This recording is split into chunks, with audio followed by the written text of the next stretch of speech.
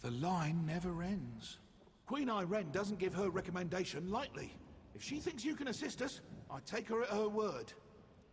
How are you at building embassies? You see, Queen Ayrenn promised one would be built for the Khajiit as a gesture of goodwill. But now a year has passed and there's still no Khajiit embassy. This has led to no end of headaches. Good question. You wish to serve the Camoran throne? You can start by asking Prince Naemon why his people aren't fulfilling their promises. He's the one who seems to have the entire Elden Tree lodged up his flue. I can say that. I'm the king.